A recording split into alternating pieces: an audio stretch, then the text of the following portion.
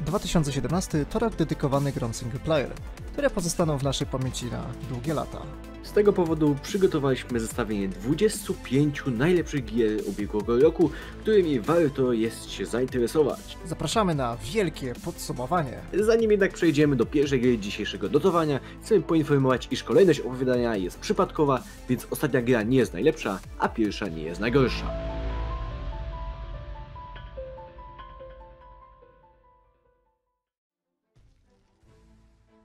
Hollow Knight. Fenomenalna Metroidvania z genialnym klimatem i soundtrackiem, który zachęca do dalszej eksploracji i walki z monstrami.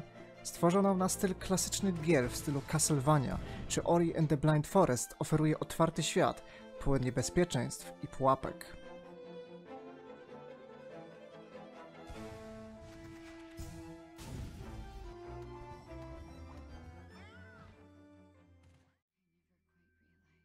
Nier Automata. Stylowy, szykowny, bawiący się schematami slasher, w której operujemy piękną to be po zrujnowanym, opuszczonym świecie opanowanym przez maszyny. Gra wręcz idealna, pełna wrażeń, zaskakująca nas na lewo i prawo, okraszona pięknym soundtrackiem wartym samodzielnego odsłuchania. Przestrzegamy przed wersją na PC, która zawiera kilka problemów natury technicznej.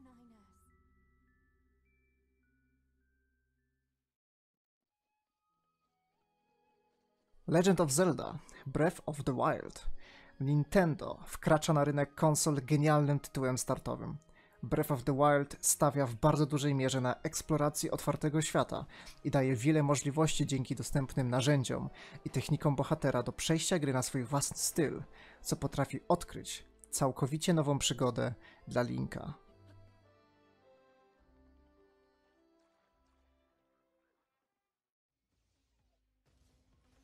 Wipeout Omega Collection. Interesujący remaster trzech handheldowych wersji legendarnej serii Wipeout, nafaszerowany detalami i nowym, świetnym soundtrackiem w stylistyce elektro i drum and bass, z interfejsem i torami nawiązującymi do wcześniejszych odsłon. Z długim trybem kariery podzielonym na wiele sezonów, Wipeout zachęca na wielogodzinną rozrywkę po zwariowanych torach. Observer Polska przygodówka detektywistyczna o szaleństwie, wirusach, morderstwach na terenie cyberpunkowego Krakowa. I choć mało można zobaczyć Krakowa w Krakowie, tak fabuła jest na tyle okraszona tajemnicą, że gracz czuje imersję i chęci do rozwiązania zagadki tutejszych zbrodni. Pomimo dziwnej końcówki, która mogłaby sugerować brak pieniędzy na rozbudowę gry, Obserwer jest interesującą grą na wieczór, zwłaszcza gdy narzekasz na brak dobrych seriali detektywistycznych. Sonic Mania. Kultowy powrót do 16-bitowego Sonika, pełny nowych, starych i przerobionych poziomów, z nowymi umiejętnościami, zremiksowanym soundtrackiem i otwartością na poziomie Sonika 3. Istny gral dla fanów niebieskiego jeża.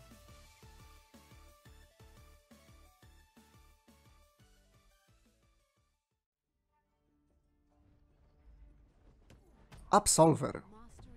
Unikalna bijatyka o samurajach, MMA, okraszona piękną grafiką low poly i otwartym systemem kombosów. Całkowicie nowe spojrzenie na bijatyki z intrygującą kampanią dla pojedynczego gracza i ciągle rozwijanym trybem multiplayer, Absolver zasługuje na miejsce w naszym notowaniu.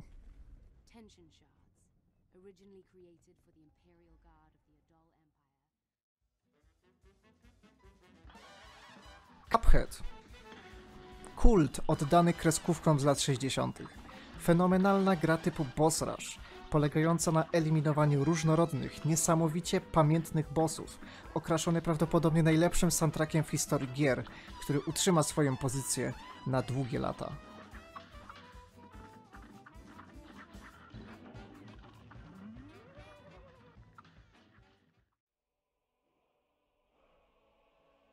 The Elder Scrolls 5 Skyrim wersji na VR.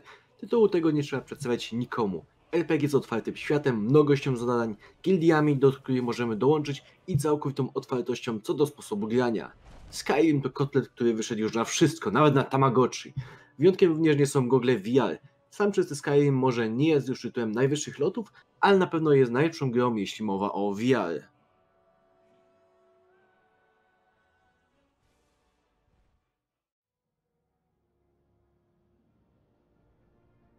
Gran Turismo Sport.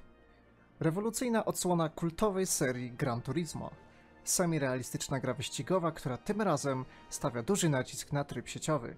Choć i klasycznej kariery dla pojedynczego gracza w sport nie brakuje i zaoferuje zabawę na około 50 godzin. Dzięki regularnemu wsparciu GT zostaje zasilony o coraz to więcej pojazdów, torów i funkcji. Wszystko za darmo, bez mikrotransakcji czy lootboxów.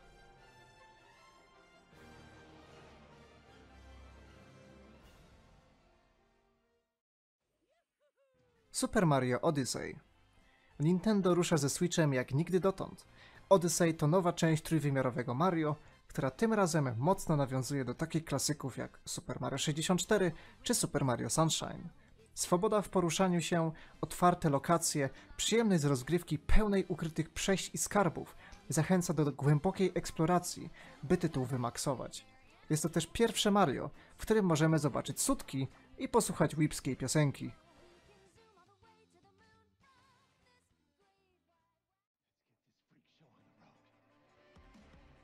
Wolfenstein 2 The New Colossus. Udana kontynuacja New Order. Blaskowicz po raz kolejny wkracza do akcji, by zniszczyć nazistów, tym razem na terenie USA. I choć sequel nie jest tak fantastyczny jak poprzedniczka, i grze można wymienić kilka byków i niepotrzebnych funkcji, nie zmienia to faktu, że fabuła i poziom rozgrywki trzyma nadal wysoki poziom, który usatysfakcjonuje cię od początku do końca.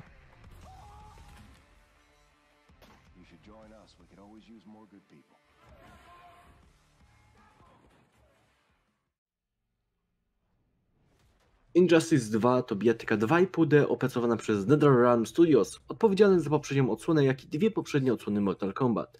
Z drugiej części zasłużonej bijatyki, jaką było Injustice Gods Among Us, ponownie przyjdzie nam się wczylić w skóry bohaterów i antybohaterów z uniwersum DC, aby następnie móc okładać się po mordach.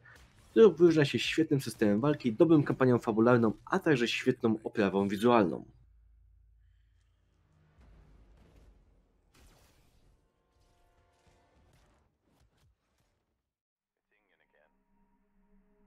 Pośród wysypu dziesiątek nijakich gier na sprzęt wirtualnej rzeczywistości, Static wyróżnia się świetnie zaprojektowanymi zagadkami logicznymi, prostymi w swojej budowie, ale niezwykle pomysłowo zaprojektowanymi, dając sobie nam poczucie bycia jednocześnie geniuszem, ale i debilem. Wszystko określone jest sterylną oprawą, wątkami psychologicznymi i intrygującą, choć dość krótką historią.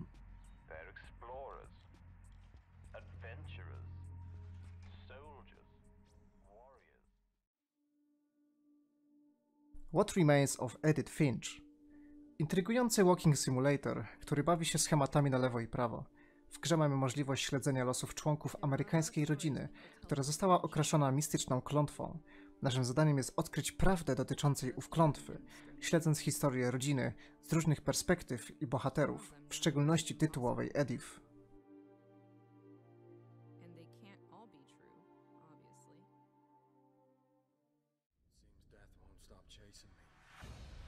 Fani gier pokroju Dark Souls The Search albo Lords of the Fallen nie mogą przejść obojętnie obok Nioh, tytułu za którym stoją twórcy takich serii jak Ninja Gaiden albo Dead or Alive. Gra charakteryzuje się wyśrubowanym poziomem trudności, satysfakcjonującym gameplayem, a także fantastycznym klimatem japońskiego folkloru.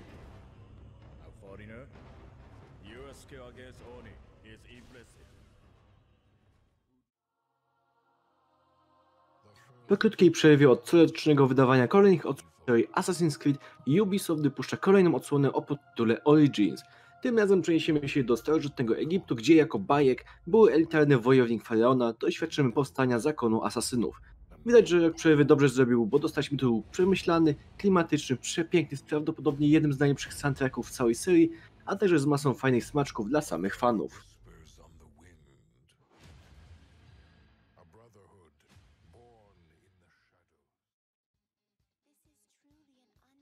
W roku 2017 walkę o tytuł najlepszego prowadził Marian Hydraulic z Personą 5, japońskim RPG, który podbił serca nie tylko fanów gatunku.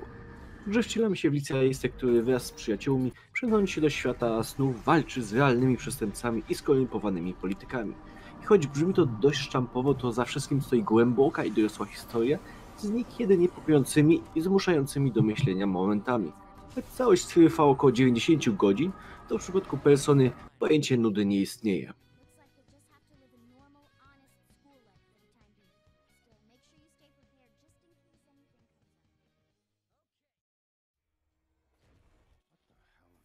Arkane Studios to prawdziwi wirtuozi wirtualnej rozrywki. Po niesamowitym Dishonored 2 z 2016 roku studio wydaje rok później Preya, grę z dość kłopotliwym dowodem, która do premiery w maju 2017 roku przyszła naprawdę wiele. Jest to tytuł FPS osadzony w klimatach science fiction, biorący garściami od takich marek jak System Shock albo Bioshock. Dostajemy świetną historię dla pojedynczego gracza z wyborami moralnymi, które mają realny wydźwięk w zakończeniu.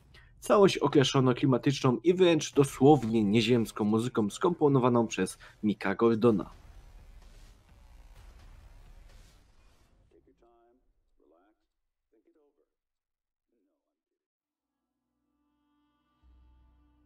O Divinity Original Sin 2 możemy powiedzieć tyle, że to prawdopodobnie najlepsza gra z gatunku klasycznych RPGów. Larian Studios wykreowała świat wypełniony po brzegi przepięknymi lokacjami, pełnymi sekretów, które aż chce się szukać. Fabuła, którą twórcy nam serwują, wciąga i stawia na coś, co ja osobiście szanuję, czyli aspekty odcieni szarości. Divinity jak na CRPG przystało, stawia na taktyczną i wymagającą walkę. I uwaga, jeśli nie miałeś wcześniej styczności z grami CRPG, uważaj. Możesz poczuć się nieco przytłoczony.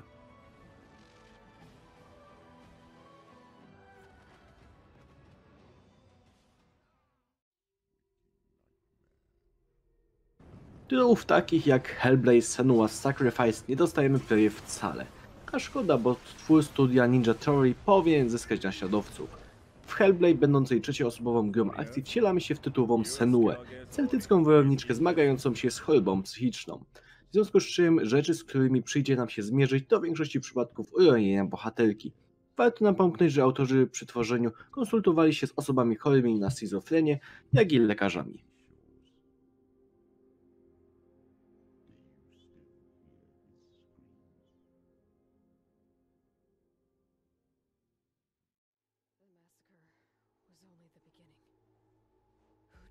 Czym jest Horizon Zero Dawn? Przepiękną grą wyciskającą wszystko z bebechów PlayStation 4. Choć z początku granie zapowiada się jakoś ciekawie, to im dłużej gramy, tym bardziej wciągamy się w ten świat. Świat będący pozdapą. Historia osadzona jest w dalekiej przyszłości, w której ludzka cywilizacja upadła, cofając się w mocno rozwoju, a przy tym świat został opanowany przez stworzenia będące hybrydami zwierząt i maszyn. My natomiast jako Aloy, młoda wojowniczka, wyruszamy w podróż, aby poznać tajemnice dawnej cywilizacji.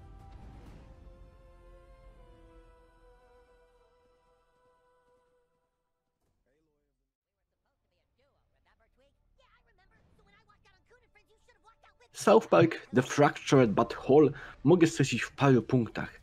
Niesmaczne żarty, pierdy, ciekawy system walki, ponadczasowa oprawa audio i pierdy.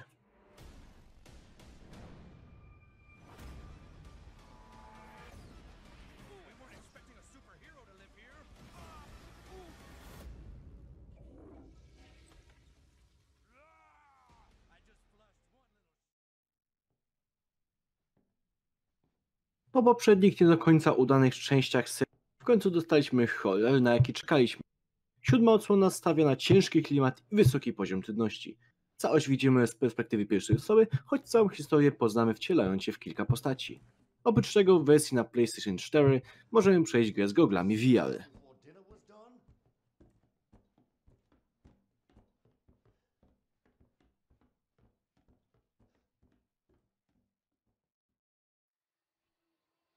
Co mogę powiedzieć o Śródziemiu Cieniu Wojny? Że to taka trochę bardziej brutalna odsłona. W dużym skrócie chodząc po świecie jako półmartwy człowiek, pół zjawa, zdobywamy orkowych popleczników, przy pomocy których mamy spuścić w pierdziel Sauronowi. A fabuła? No cóż, troszkę kłóci się z niektórymi faktami wykreowanymi przez Tolkiena, ale jeśli nie jesteś fanatycznym fanboyem, to nie będzie ci to przeszkadzało ani trochę. Z tytułem były związane pewne kontrowersje lootboxowe, które po prawdzie nie miały żadnego znaczenia i wpływu na rozgrywkę.